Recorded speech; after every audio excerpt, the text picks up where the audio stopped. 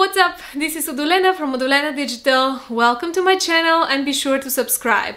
Today I'm going to talk about a topic which of course a lot of people are divided on and this is cryptocurrencies and blockchain. I'm by no means a specialist into technology of blockchain or know so much about cryptocurrency.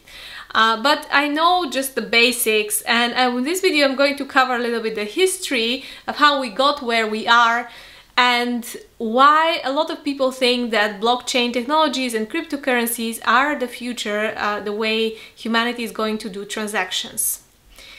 So if you look in back into history, I'm really keen on histories. I will go back in, an, in ancient, ancient times when look at the first written documents and first written texts really in the human history from Mesopotamia, it's not love poems, it's not literature, it's not uh, Bible, it's not religious text, it is transactions. So from the dawn of history, people have been struggling to record and to verify that actually an exchange of property has happened.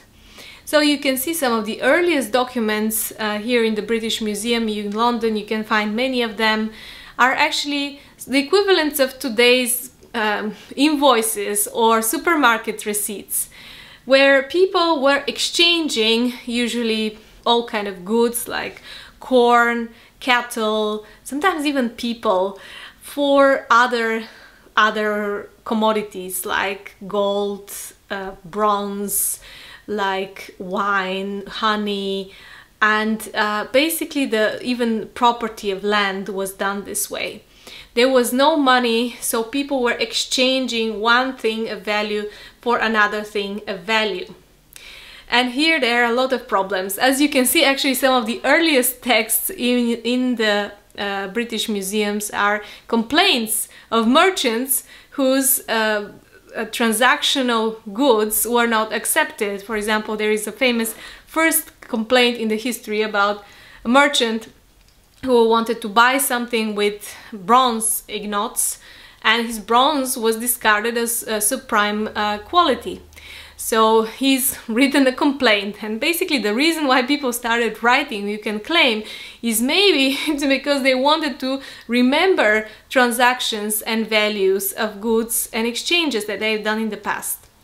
And the problem with bartering is, of course, there are many, many problems, but one of them is that you cannot verify. Let's say the transaction is done between two people but suddenly one of them can claim if it's not recorded that the other the other uh, person never paid them.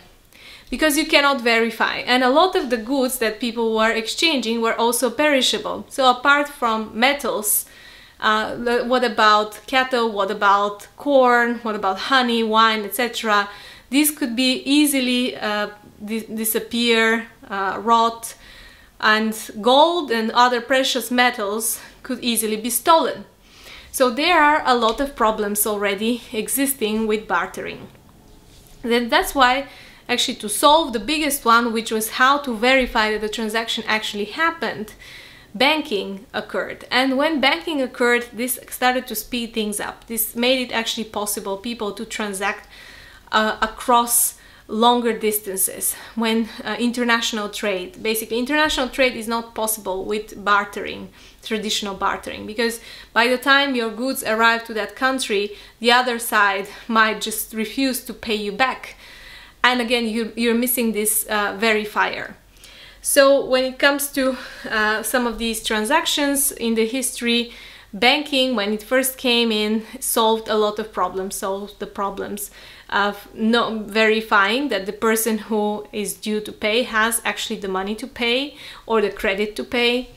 Uh, they were able to kind of uh, attribute a value uh, on money which uh, they decided and it's universal so it's not that the value is different in different parts of the country it's the same so this made a lot of things easier, but also brought in new difficulties, like the banking fees and the transactional fees. That's why banks became extremely wealthy, is because, of course, for verifying all this work, they had to actually do trans uh, transactional fees. So you have until nowadays bank fees for international transfers, you have bank fees for drawing money out of an ATM, you have fees for um, yeah for credit card purchases let's say small shops uh, when when they cannot sometimes charge your card because the transaction is too small and basically they will be eaten out by the transactional fee that they have to pay to whatever company is taking their payments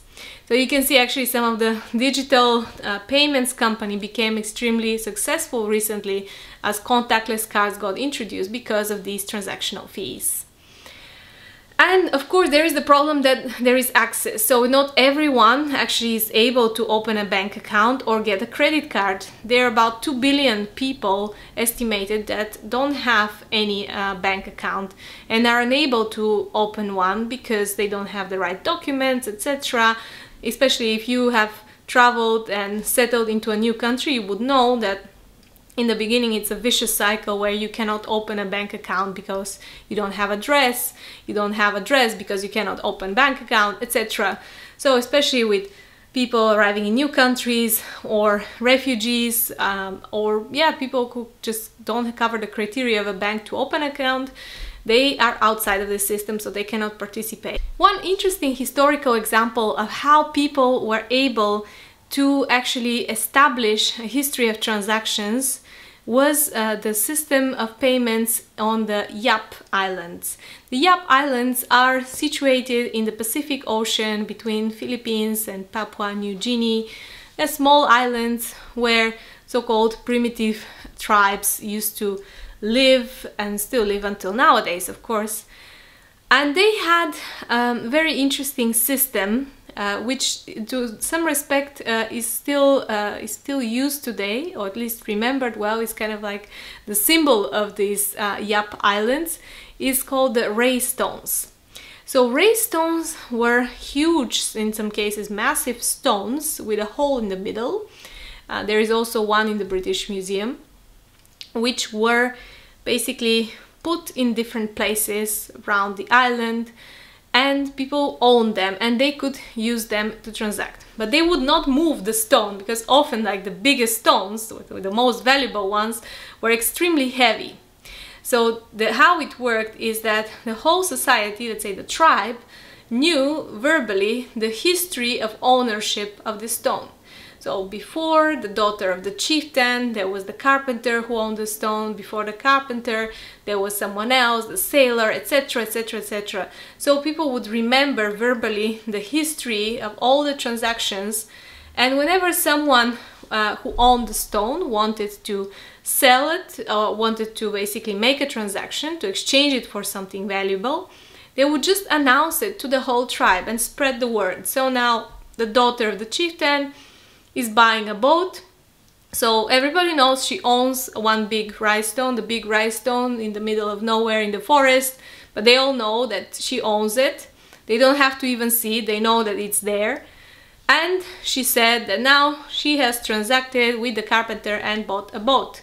So basically this means that the, now the new owner of the rai stone is carpenter. The rai stone doesn't move hands, it stays somewhere deep in the forest, this huge massive stone. There is even a story about a stone which fell in the water, so it was transported by boat and it sunk in the ocean. But people continued transacting it because they knew that it exists. Uh, they knew that it was on somewhere on the bottom of the ocean, but doesn't mean that it has disappeared. So it still had value. So whoever owned it said like, okay, I'm exchanging my stone, which is in the ocean, for whatever uh, good they want to, to uh, purchase. Which is a very interesting concept. And this brings me to nowadays. So if you want to understand blockchain technology, there is a lot of literature, but theoretically, it is something like a rai stone, where actually instead of us, the tribe, memorizing uh, by hand and by our brains the history of transactions, all these transactions are recorded digitally and are verified digitally. So the people who verify, or let's say the computers, which verify the transactions, are the so-called miners computers. So as a reward for their verification, which is a technical process requiring a lot of computational energy, I'm not going to go into detail about this, but basically for verifying the existence of the stone or the blockchain or like the uh, block of information recording these transactions that happened, uh, they uh, are rewarded with some bitcoins. And the way, let's say, Bitcoin and other cryptocurrencies are designed by default is that they are limited amount. So the difference between them and the money that we own is that money that we own or have in bank accounts, etc., in uh, digital money or in paper money, uh, they are subject to uh, the central banks and central banks can print more of them. So there is unlimited amount of this money, which used, didn't used to be the case. It used to be that money are pegged to uh, amount of gold, physical gold, which exists, but this is long, long time ago, no longer the case, pretty much from the uh, mid 20th, 20th century. And now most of the money in the world actually function as what they call fiat money, so they can always, central banks can always print some more if there is necessity. And the biggest difference is that with cryptocurrencies, they are programmed, so it is impossible to create new ones more than actually the creator of the currency has designed to be created from the beginning. Uh, the money is created from thin air, but it is limited. You cannot, at some point, it is projected in the next years that uh, it, it's, it's already becoming very difficult to mine, for example, Bitcoin. Very soon it's going to be impossible. It is going to reach its limits and this means that there will be no more coins to be produced and they will never exist anymore. This is why the creators, uh, the creator, mythical creator of uh, Bitcoin referred to it as the contemporary digital gold. And uh, actually this is kind of the, the brief talk I wanted to give you about the history of money and what exactly is blockchain and why uh, people think that this could be actually the solution for a lot of problems we, we have had with uh, the history of transactions in our world. Let me know in the comments, I'm sure that there's people who know much more about the topic. The way I described it is very, very basic. I hope it makes sense. But if you have any other comments or suggestions, please write in the comments below. I'll be back with a new video next week.